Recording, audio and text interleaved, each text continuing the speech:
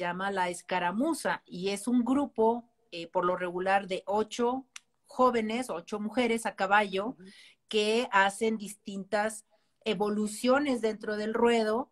Hay quienes lo describen como una danza, eh, un ballet a caballo, porque tiene que haber mucha sincronización, cierta velocidad, hacemos algunos cruces, giros y demás que hacen que se vea todo como un, pues sí, como un ballet a caballo y usamos normalmente vestidos muy vistosos que representan nuestras tradiciones mexicanas que se le llaman los vestidos de adelitas y eso es la escaramuza. Sí, y también un dato curioso es que montamos de lado. Se le llama Ah, eso- mujeriegas. Eso le llama Sí, mucho la atención a la gente que creen que Sí. dicen, ay, es que se van a caer, ¿no? Yo me siento mucho más segura Ajá. montando mujeriegas. Sí, yo también, yo también. La a verdad. mí me encanta. Dicen aquí, el vestido de escaramuza es hermoso. Sí. Y vaya que sí, a mí me encanta.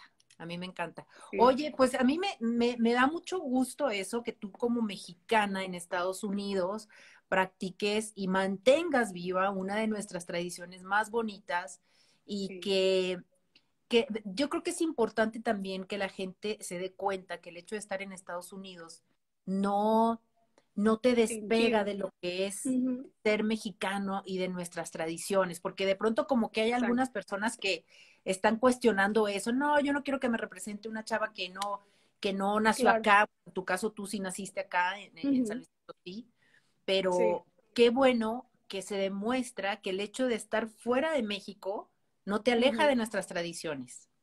Sí, y de hecho, por ejemplo, en México también nos dan la oportunidad de, de competir en los nacionales, en los nacionalitos, en todas las competencias. Entonces también, o sea, sí es a nivel competitivo, no nada más lo hacemos por exhibición. exhibición. Ajá, o sea, lo hacemos a nivel competitivo. Y eso también está muy padre. Qué padre, no, claro que sí, Sí. está maravilloso, qué bueno, me da mucho gusto. Oye, ¿y cómo Sí. se llama tu caballo consentido? Que vi que tenías una foto en Uy, Instagram. sí. Mi favorito, Panadino. sí, le decía ¿Panadino? Pana. Panadino, sí. Ok. Sí. Yo creo que en nuestra vida siempre tenemos a uno que es con el que más conexión hicimos y yo creo que el mío es Panadino, Ay, definitivamente. no, mi yegua Sí. consentida se llamaba La Gringa. La gringa, ay, ironía. Sí, así se llamaba mi yegua consentida, que bueno, estuvimos muchos, muchos, muchos años juntas como Juntos. dupla y era una yegua, bueno, Es que sí creas una conexión súper bonita, ¿verdad? Se convierten Sí. en uno, tal cual. Sí, eres un equipo, eres una dupla, este, te conectas, te comunicas con tu animal eh, y, y- Sí. y no sé, todo fluye muy bien. Sí.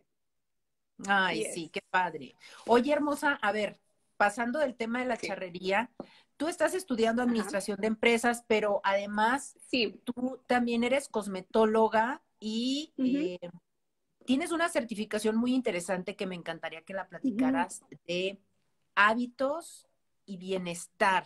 Sí, de hecho, esa es de México. Está avalada por la SEP. Se llama Coach en Cambio de Hábitos. ¿Ok? Sí, también, de hecho, bueno, estudio administración en la EBC, en la carrera ejecutiva, que me permite hacerlo en línea, algunas clases y algunas son presenciales. Entonces, por eso les comento que mi vida es como mitad y mitad, o sea, voy y vengo todo el tiempo. Y la de cosmetología sí la estudié aquí en Estados Unidos. Entonces, pues sí. Y pero esta certificación, a ver, de, de hábitos y bienestar, me encantaría que Ujú. nos